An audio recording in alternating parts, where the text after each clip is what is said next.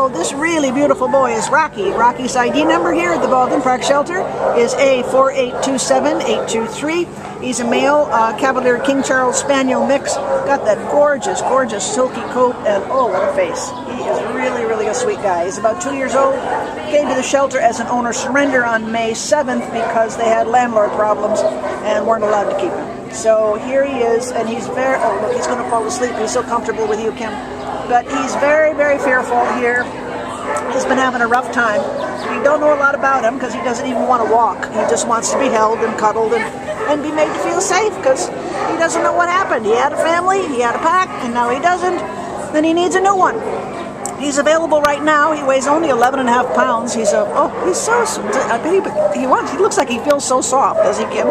Yeah. Very silky. Oh, just so sweet. Coming down to meet this guy. He's, uh, his name is Rocky. He's available right this minute. And look at that. How can you resist? He needs a new family. Come and get him. Oh, sweetie.